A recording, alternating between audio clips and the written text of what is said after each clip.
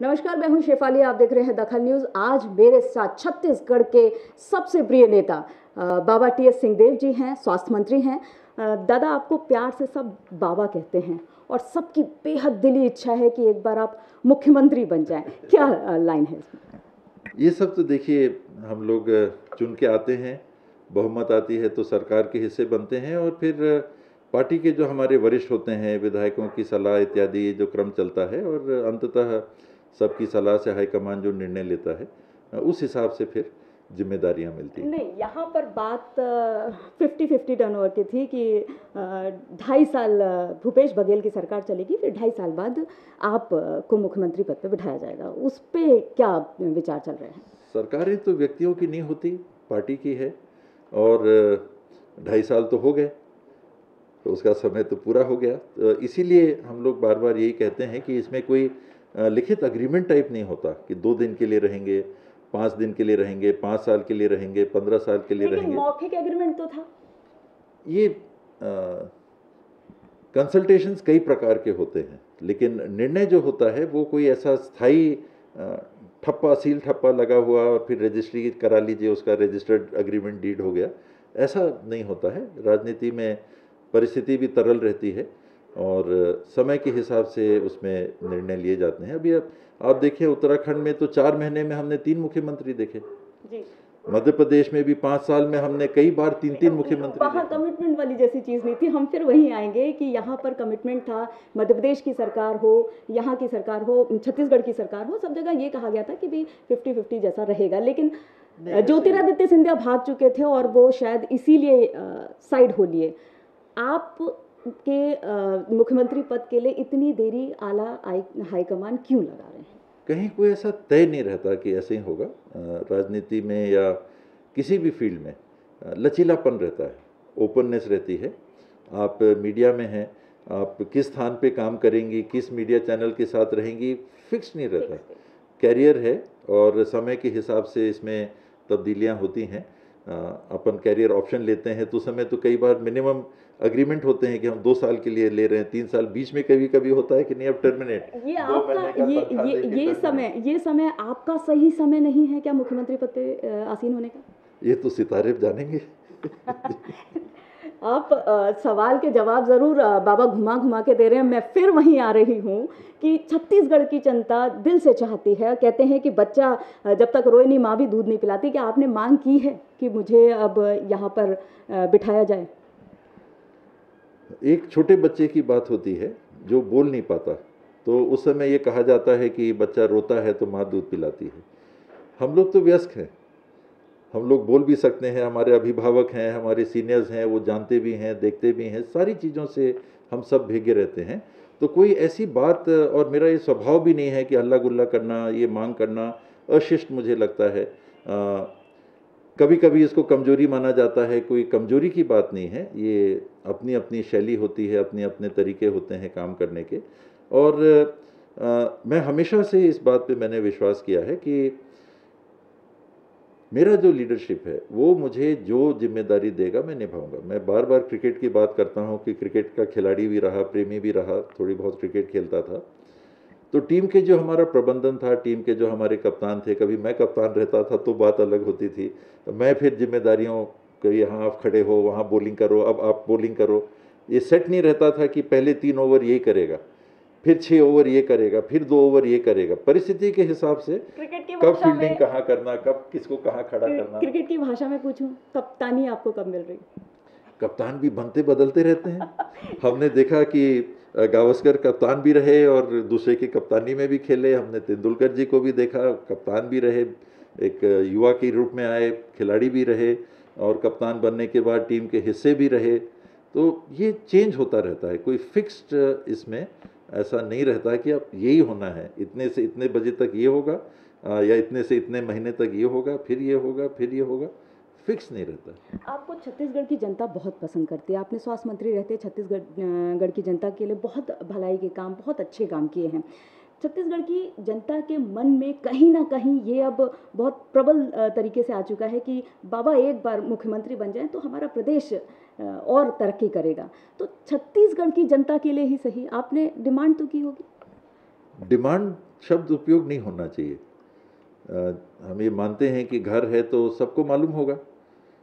मैं स्कूल में पढ़ता था या कॉलेज में पढ़ता था तो मेरे माता पिता जानते होंगे कि क्या क्या चीज़ की आवश्यकता हो सकती है या क्या इनके मन में होगा। अ, बस में जाते हैं ट्रेन में जाते हैं अ, तो किस प्रकार का प्रबंधन करना। अ, मैं कॉलेज में दिल्ली में पढ़ता था तो माता पिता जानते थे कि पॉकेट मनी की भी ज़रूरत होगी उन्होंने तय किया सौ रुपया देना।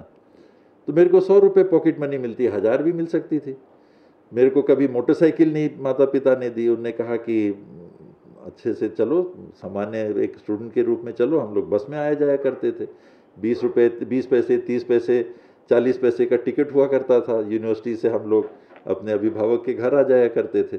और कभी कोई ऐसी बात महसूस नहीं हुई। तो मांग वाली बात नहीं होनी चाहिए। लेकिन अ, दिल में एक इच्छा तो होगी। लोगों के मन में रहता है। स्वाभाविक है कि जहाँ पर आप हैं तो क्या जिम्मेदारियाँ मिलें ये समय के साथ में? अ, चलिए ठीक है आप बनते हैं नहीं बनते हैं वो एक समय पर निर्भर करता है। लेकिन अगर आप छत्तीसगढ़ के मुख्यमंत्री बनते हैं तो आपकी प्रायोरिटीज़ क्या रहेंगी? ये तो उसके बाद बोलना ठीक होगा नहीं तो ये हो जाएगा कि इसने तो अपने आप को अभी से मान लिया मुख्यमंत्री। ऐसा नहीं करना चाहिए। अ, समय आएगा जो भी कैप्टन होता है वो कैप्टन बनने के पहले बनेगा कि नहीं ये नहीं मालूम। पहले ही से आप बोल दो कि हमारी रणनीति ये रहेगी। तो ऐसा होना भी नहीं चाहिए। आपने कहा कि लोगों के मन में रहता है तो सभी के साथ जुड़े हुए रहते हैं। परिवार के लोग हो गए, इष्ट मित्र हो गए, सहयोगी साथी हो गए कई लोगों के मन में आपके लिए सद्भावनाएँ रहती हैं तो सभी के साथ रहता है। जो भी अगर राजनीति की बात करें तो सीनियर लीडर्स हैं। तो ऐसा नहीं होता है कि किसी एक के साथ ही भावना बनी रहे। अगर नेहरू जी थे तो सरदार पटेल भी थे। गांधी जी थे तो सुभाष चंद्र बोस भी थे। तो अ, हर स्तर पे आप दुनिया में कहीं भी देखेंगे तो ये नहीं होता है कि किसी एक के लिए ही सभी की भावना हो। आ, अलग अलग विचार अलग अलग शैली अलग अलग कार्यशैली अलग अलग विचारधारा। तो लोग एक टीम के अंदर भी एक परिवार के अंदर भी अलग अलग लोगों को अपना स्नेह थोड़ा सा ज़्यादा थोड़ा सा कम साथ थोड़ा सा ज़्यादा थोड़ा सा कम ये स्थिति बनी रहती है। मतलब जनता की उम्मीद अभी बरकरार है और बरकरार रहेगी। आपको एक दिन वो देख सकते हैं छत्तीसगढ़ के मुख्यमंत्री के पद पर। हम जासूसी का मुद्दा अभी बहुत गर्म है। पेगासिस की बात की जाए सॉफ्टवेयर की बात की जाए लाइसेंस लिया गया लोगों की जासूसी की गई और सरकार गिराने बनाने पर भी सवाल उठ रहे हैं कि इसका इस्तेमाल किया गया था। आपका क्या कहना ये गलत है। अगर किसी सरकार के पास अधिकार हैं तो अधिकारों का उपयोग जायज़ है, दुरुपयोग नाजायज़ है और ये स्वीकार नहीं है। तो कोई सॉफ्टवेयर ऐसा है दुनिया में, तकनीकी तरक्की होती रहती है समय समय पर, ऐसा सॉफ्टवेयर अगर निर्मित हो गया है कि आप जानकारियाँ हासिल कर सकते हैं तो देशद्रोह के मामले हैं, देश को अस्थिर करने के मामले हैं, कहीं दंगा फसाद फैलाने के मामले हैं कोई आर्थिक दुराचार की बातें हैं। उदाहरण के लिए, अगर कोई ऐसी बातें हैं जिसकी जानकारी राजतंत्र को होनी चाहिए, देश के हित के लिए, समाज के हित के लिए, और उसके लिए आप किसी तकनीक का उपयोग करते हैं तो उसको जायज़ माना जाता है। उसकी प्रक्रिया है, अनु, अनुमति लीजिए, इत्यादि इत्यादि, और आप फिर वो कार्य करिए, जो कि गुप्त रूप से, लेकिन पारदर्शी है। उसको आप अनाउंस नहीं करते कि हम टी एस बाबा की वो स्नूपिंग कर रहे हैं इनके ऊपर हम जासूसी कर रहे हैं लेकिन रिकॉर्ड में बाकायदा आदेश होते हैं फ़ाइल में रहता है कि ये ये जानकारियाँ हैं ऐसी सूचनाएँ मिल रही हैं तो हमको टी एस सिंहदेव की निगरानी करनी है। बिना उन कारणों के अन्य उपयोग के लिए अगर आप ऐसे तकनीक का इस्तेमाल करते हैं जो केवल राज्य के सरकारों को कंपनी ने उपलब्ध कराई है देश हित में वो नाजायज़ है। राजनीतिक उपयोग आप कर रहे हैं। मेरा, मेरे बारे में कौन बुरा बोल रहा है, उसकी जानकारी लेने के लिए आप कर रहे हैं। कहीं कोई किसी और के साथ संबंध तो नहीं बना रहा राजनीतिक।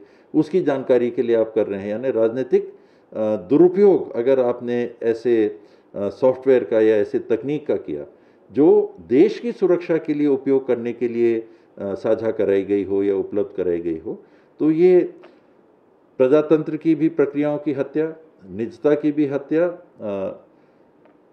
नियमों का भी उल्लंघन ये इस श्रेणी में आता है और ये निंदनीय भी है और स्वीकार्य नहीं। जासूसी तो हुई है। केंद्र सरकार मना कर रही है कि हमने नहीं करवाई। आपका क्या कहना है? जो एनओसो कंपनी है कहते हैं कि उन्होंने ये आधिकारिक रूप से कहा है कि हम ये सॉफ्टवेयर किसी और इकाई को उपलब्ध ही नहीं कराते। देश की सरकारों के अलावा या सरकारों के अलावा। हम ये सॉफ्टवेयर उपलब्ध ही नहीं किसी को कराते केवल हम गवर्नमेंट्स को कराते हैं। तो अगर ये सॉफ्टवेयर केवल गवर्नमेंट्स को उपलब्ध कराया जाता है तो इसके इस्तेमाल उन सरकारी इकाइयों के अलावा कोई कर ही नहीं सकता है। एक या तो ये हुआ ही नहीं है ये सब बंडलबाज है। ये केवल माहौल बना दिया गया कि जासूसी हो रही है जासूसी हो रही है जबकि जासूसी हुई ही नहीं। तो पहले जासूसी हुई क्या? अगर जासूसी हुई तो इसका कारण क्या था? देश हित इत्यादि इत्यादि समाज हित है क्या? अगर नहीं तो ये आपत्तिजनक हो गया। दूसरा, आपने इसकी वैधानिक क्रियाएँ, विधि, विधिवत क्रियाएँ जो होती हैं जासूसी करने की, उनका पालन किया क्या? अगर नहीं किया तो आपने गलत किया। ये किसी और के पास हो ही नहीं सकता। हमारी देश की सरकार क्या इतनी गैर जिम्मेदार है कि जो यंत्र केवल उनके पास हो सकता है, वो उन्होंने आपको मेरे को उपलब्ध करा दिया कि हम लोग जासूसी कर रहे हैं? तो जासूसी कौन करा सकता है उस तकनीक से? केवल सरकार से जुड़े हुए लोग तो पूरी जवाबदारी सरकार की है। जो किसी को दूसरे के पास है ही नहीं वो अगर लीक करके किसी और को दे दिया गया तो उस लीक का जिम्मेदार कौन है? वो सरकार जिसको वो तकनीक उपलब्ध कराएगी और अगर लीक नहीं हुआ और आप ही ने कराया तो और गंभीर बात कि जानते हुए समझते हुए आ, देखते हुए आपने वो काम कराया जो कि गैर कानूनी है। आपने स्वास्थ्य मंत्री रहते फ़र्स्ट वेव देख ली कोरोना की सेकेंड वेव देख ली थर्ड वेव का चल रहा है कि आने वाली है। छत्तीसगढ़ में तैयारियाँ क्या हैं? थर्ड वेव में एक मीडिया में समय से पहले चर्चा बहुत ज़्यादा इस बात की हो गई कि बच्चे बड़े पैमाने पे प्रभावित होने वाले हैं। तो हालाँकि कोई डाटा अभी तक ऐसा देश में या अंतर्राष्ट्रीय स्तर पे उपलब्ध नहीं है कि आने वाले समय में बच्चे ज़्यादा प्रभावित होने वाले हैं। ये बात केवल वहाँ से चली कि 18 साल से ऊपर के जो नागरिक हैं उनको टीका लग जाएगा तो वो सुरक्षित हो जाएँगे। तो अब जो बचेंगे वो कौन है? अठारह साल से नीचे। तो अगर कोरोना से गंभीर रूप से कोई प्रभावित हो सकता है तो कौन हो सकता है? टीका वाले भी हो सकते हैं लेकिन गंभीर रूप से नहीं होंगे। और जिनको टीका नहीं लगा वो हो सकते हैं। तो बचे कौन? बच्चे। तो ये हो गया कि बच्चों को कुछ हो सकता है। यानी कोई ऐसा वेरिएंट आ गया या ऐसा कोई म्यूटेशन हो गया कि वो बच्चों को प्रभावित करेगा, ये सही नहीं है। अभी भी जो दूसरी लहर में हमने देखा, ये ऐसी भी रिपोर्टिंग आई कि बच्चे बड़ी संख्या में प्रभावित हुए। संख्या बच्चों की बढ़ी। कुल प्रभावितों में उनका प्रतिशत पहले वेव की तुलना में करीब करीब बराबर था, बहुत ज़्यादा अंतर नहीं आया। तो तीसरे लहर में वैक्सीनेशन के ऊपर ये निर्भर करता है कि कितने जल्दी हम 18 साल और उसके ऊपर के नागरिकों को वैक्सीनेट कर देते हैं तो उतने लोग सुरक्षा कवच में जितने लोग आ जाएँगे तो जो प्रभावित होंगे उनमें बच्चों की प्रतिशतता उस पैमाने पे ज़्यादा या कम होगी। संख्या नहीं प्रतिशतता।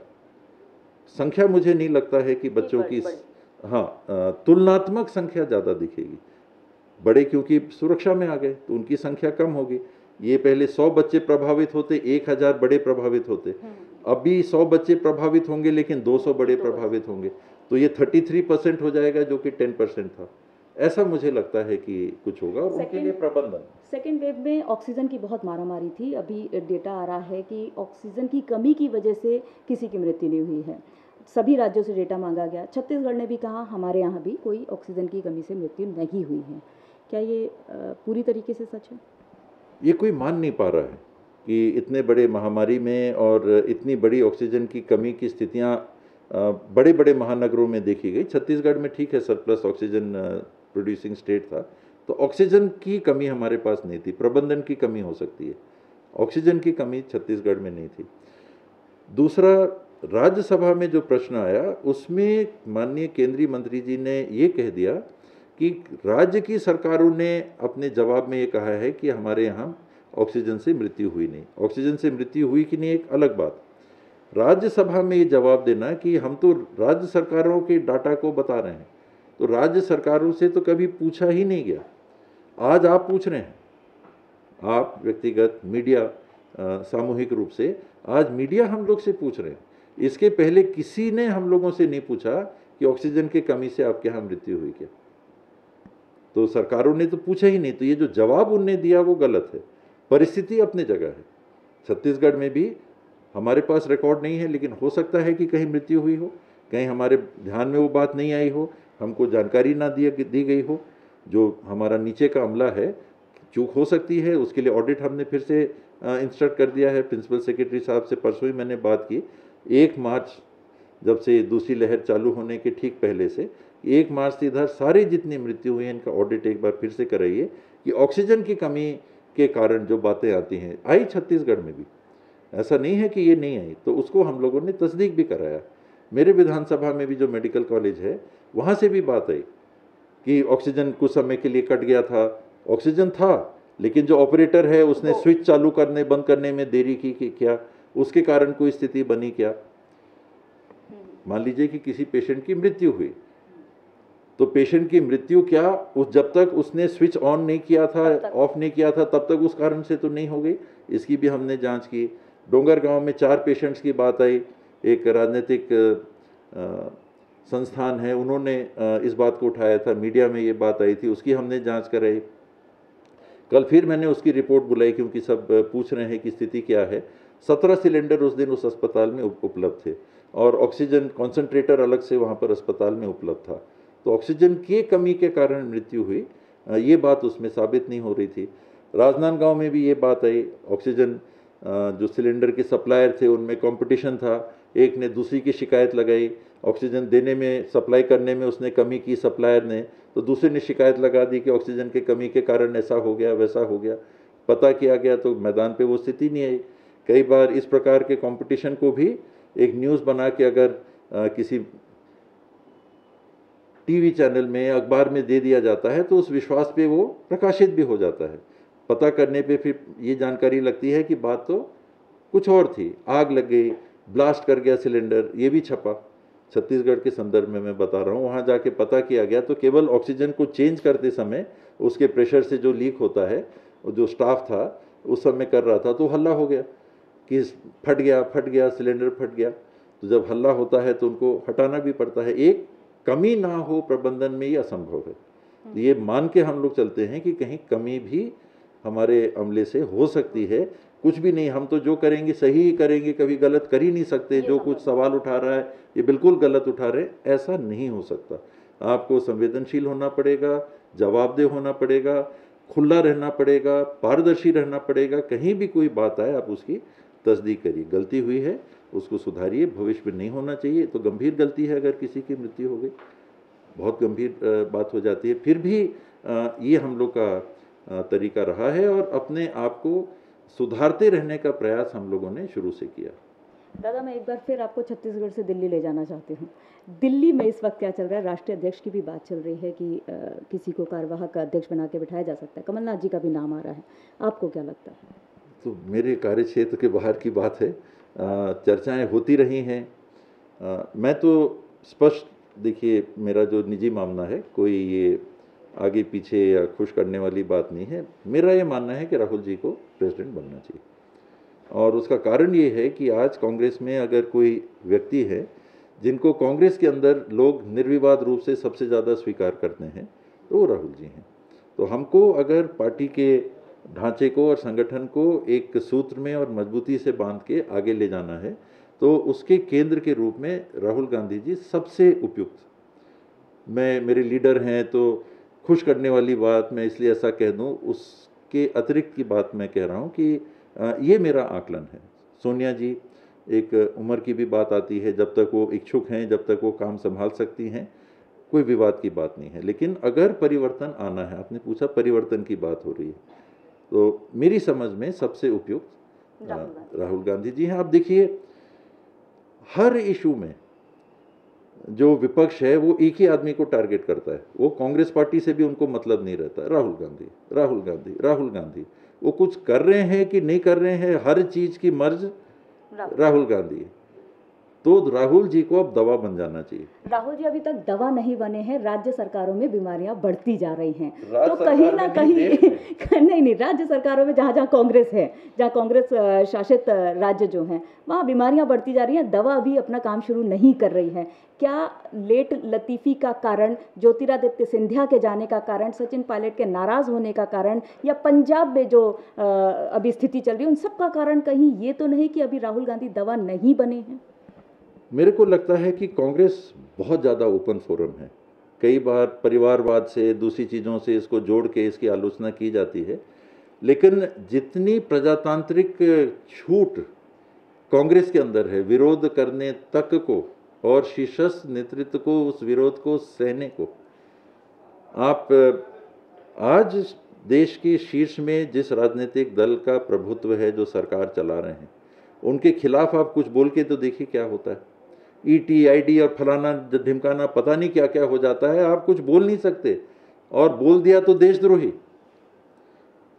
हम ऐसे प्रजातंत्र में रह रहे हैं कि अगर आपने हाँ में हाँ नहीं मिलाई हाँ में हाँ यानी कि अलग विचार की स्वतंत्रता है कि नहीं, उसको आप ऐसी आलोचना मान लेते हो कि आपने तो हमको बोल दिया, हम दिन है कह रहे हैं, रात है, आपको कहना पड़ेगा, मिस्टर। नहीं तो ठीक नहीं। ये जो वातावरण है ये कांग्रेस में मैंने नहीं देखा। लीडरशिप है शीर्ष लीडरशिप है आ, उसकी बात की अहमियत है उसके बाद आदेशों के पालन करने की बात है और उसके अंदर आ, जितनी प्रजातांत्रिक छूट है वास्तविक है जितना विरोध एक तरह से होता है और अगर कहा जाए कि होने दिया जाता है प्रजातांत्रिक मूल्यों को मानते हुए तो मैंने कांग्रेस में जितना देखा मैंने भाजपा में नहीं देखा या कम्युनिस्ट पार्टी में नहीं देखा। या बीएसपी में नहीं देखा या सपा में नहीं देखा। अब तो लोक जनशक्ति पार्टी भी हमने देख ली। तो एक एक जो ये काम करने का तरीका है कांग्रेस का आ, और मुझे खुशी है शायद अन्य कारणों में मैं एक ये भी बड़ा कारण होगा कि मैं कांग्रेस के साथ हर परिस्थिति के बावजूद भी जुड़ा रहा। परिवार आज पाँच छः पीढ़ी हो गया हम लोग को कि हम लोग का परिवार कांग्रेस के साथ अडिग रहा है। ये दूसरे में नहीं दिखता। और इन परिस्थितियों में कांग्रेस से भविष्य के लिए सबसे बड़ी चुनौती अगर विपक्ष ने किसी को माना तो राहुल जी को माना और उनकी इमेज को डैमेज करने के लिए जितना किया जा सकता था ये विपक्ष ने किया। उन्होंने देखा कि इनका रैपो यूथ के साथ बहुत अच्छा बन रहा है। आज से दस साल पहले की स्थिति को देखिए तो उन्होंने वो टारगेट बना के कांग्रेस का नाम तो कहीं है ही नहीं राहुल गांधी राहुल गांधी राहुल गांधी राहुल गांधी। आज कोरोना के समय हम चर्चा कोरोना की बातें कर रहे हैं। आप पिछले डेढ़ साल में देखिए, सवा साल में देखिए, राहुल जी ने समय के पहले, परिस्थिति के आने के पहले कोरोना से संबंधित जितनी बातों को उठाया, वो घटित हुई कि नहीं? चाहे आर्थिक व्यवस्था की बात हो, चाहे प्रबंधन की बात हो, चाहे टीकाकरण की बात हो, चाहे सामाजिक जो आपको कोविड प्रोटोकॉल की बात हो रही है हर चीज़ को आज ये जो ऑक्सीजन की डेथ्स की बात आ रही है कांग्रेस शासित राज्य भी हैं। राहुल जी ने तो ये नहीं कहा कि नहीं कांग्रेस शासित राज्य में ऑक्सीजन से मृत्यु की बात नहीं है और जगह है। उनने तो पूरे देश के लिए कहा कि ऐसी बातें कहीं भी हो सकती हैं तो हम लोग भी उसके लिए जवाबदेह हैं। राहुल जी ने हम लोग को अलग करके नहीं बोला कि पंजाब इससे बाहर है राजस्थान इससे बाहर है छत्तीसगढ़ इससे बाहर है महाराष्ट्र में हमारी साझा सरकार है, झारखंड में हमारी साझा सरकार है, तमिलनाडु में हमारी साझा सरकार है, अन्य राज्यों में हमारी साझा सरकार है। आप, आपसे हम सवाल नहीं करेंगे, आप जो कर रहे हो सब ठीक है। उन्होंने पूरे देश के लिए कहा इंक्लूडिंग अपने पार्टी के राज्यों के संदर्भ में भी, जैसे आपने सवाल किया, उनने सवाल किया तो हमने इमिजिएटली ऑर्डर किया कि नहीं, आप फिर से ऑडिट करिए। आप जानकारी लीजिए कि कहीं चूक तो नहीं हुई है। राहुल जी तो नहीं कह रहे ना कि छत्तीसगढ़ बहुत अच्छा। एक भी मृत्यु ऑक्सीजन की कमी से छत्तीसगढ़ में नहीं हुई है राजस्थान में नहीं हुई है गुजरात पंजाब में नहीं हुई है महाराष्ट्र में नहीं हुई है तमिलनाडु में नहीं हुई है झारखंड में नहीं हुई है वो ये तो नहीं कह रहे। तो ये ये है लीडरशिप जिस कारण से आ, मेरा ये मानना है कि दूरदर्शिता गंभीरतम स्तर पे तकनीकी रूप से और रिसर्च के क्षेत्र में ज्ञान रखने वालों से बिना प्रचार के लगातार इंटरेक्शन करके उन विचारों तक पहुँचना उन निर्णयों तक पहुँचना जो देश के लिए सबसे अच्छे साबित हो सकते हैं। नज़दीक से मैंने उनको जितना मौका मिला है बहुत हम लोग नज़दीक तो नहीं रहते लेकिन जितना मेरा अनुभव रहा है जितनी उनके मन में देश के लिए अच्छी करने की आ, सोच है सामान्य रूप से ऐसा नहीं दिखता। ये सारी बातों को ध्यान में रख के मैं ये कहता हूँ कि आज कांग्रेस पार्टी को आ, अगर प्रेसिडेंट चेंज हमको करना है तो राहुल जी सबसे ज़्यादा सूटेबल कल के दिन भी होगा तो टारगेट राहुल जी ही होने वाले हैं। लीड कौन करेगा? हम हमारी पार्टी का लीडर हम किसको मान रहे हैं?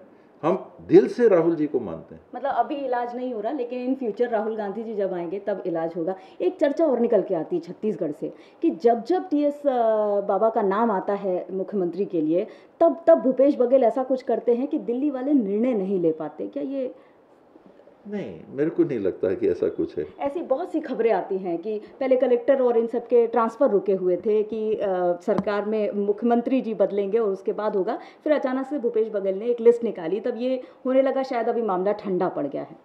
ये तो आ, एक साथ होने वाली घटनाक्रम हो सकता है क्योंकि जब तक आदमी ज़िम्मेदारी के स्थान पे है तो वो समय नहीं देखता। वो तो निरंतरता देखते हैं कि मेरे को आज के दिन काम करते रहना है जो आने वाले कल और आने वाले समय के लिए भी उपयोगी बना रहेगा। वो ये तो नहीं देख के काम कर सकते कि पता नहीं कल क्या होने वाला है तो कुछ करो ही मत। तो तो पैरालिसिस आ जाएगी। सरकार चलेगी कैसे? अगर हमेशा जैसे मैंने उत्तराखंड का उदाहरण दिया चार महीने में तीन नाम तो तो काम ही नहीं होगा। जो भी रहेगा अगर उनके दिमाग में यही है कि कल के दिन हम बदल सकते हैं जो किसी के लिए भी संभावना बनी रहती है तो काम कैसे होगा? तो वो वो बात नहीं रहती। जो जब तक हैं, तब तक अपनी सोच के हिसाब से उनके जो सलाहकार हैं, जो राय वो लेते होंगे खुद का उनका अनुभव है, उसके हिसाब से जो बेहतर समझते हैं, वो हिसाब से निर्णय लेते रहते हैं। आप सुन रहे थे बाबा टी एस सिंहदेव जी को और दादा ने बहुत स्पष्ट शब्दों में कहा है कि वो दिल्ली के निर्णय का इंतज़ार कर रहे हैं और हो सकता है कि बहुत जल्दी छत्तीसगढ़ में परिवर्तन देखने को मिले। ऋषि ये पंडित जी क्या बोल रहे हैं? कह रहे हैं कि मुझे तुम्हें ज़िंदगी के सभी खतरों से बचाना है। फिर तो मेरी लिए खतरे में है। क्योंकि जो कॉकरोच से डर जाए वो मेरी क्या रक्षा करेगा? वह कॉकरोच छोड़कर तुम्हारी पूरी लाइफ एकदम सिक्योर है। स्मार्ट लोगों की क्लियर है प्रायोरिटी बाकी सब बाद में। फॉरएवर वाले रिलेशनशिप से पहले एलआईसी संगीत की स्वर लहरियों से सांस्कृतिक ताने बाने तक। चंबल के पीड़ों से नक्सलवादियों के गढ़ तक। झोपड़ी से महलों तक। ठेलों से मेलों तक। पगडंडियों से सड़कों तक। गाँव से शहरों तक। व्यापार से उद्योगों तक। राजनीति से कूटनीति तक। दखल न्यूज़। आपके हक।